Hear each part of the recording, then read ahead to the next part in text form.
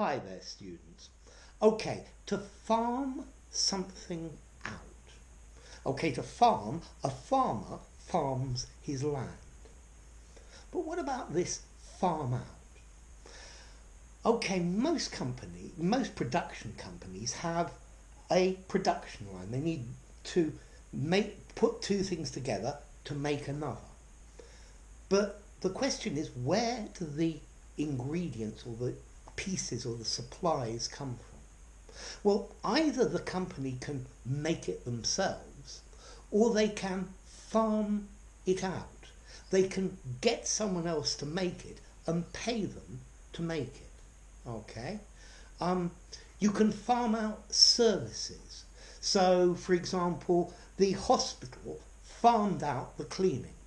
So they didn't employ their own cleaners. They went to another company and paid them to provide a cleaning service. Okay, that's the idea of to farm someone else. Sorry, to farm something out. To get someone else to do part of your supply chain or one of the jobs that you need doing, but without actually doing it yourself. Okay?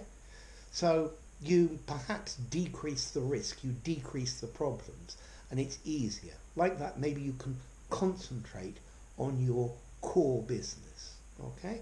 So, to farm somebody something out, I keep saying someone, I don't know why. To farm something out, farm it out. To get someone, get another company or another entity to do one of the jobs you need and to be totally responsible for it. Okay? So you don't have to think about it. Okay, farm it out. So it's separable. The it goes between the farm and the out. What about formality? I would say it's probably a neutral phrasal verb, although this is one that is used in business, yeah? You could put it in an email or something like that. We need to farm out uh, the IT, the IT for this company because we're too small to take care of it ourselves. It's much better we pay a standard fee each month and get a company that specializes in it to provide the service. Okay? So, to farm out. Yeah, notice I make my own videos. I don't farm the making out to someone else. Although maybe the post production, as in the sound and cutting my mistakes and putting some music and things like that.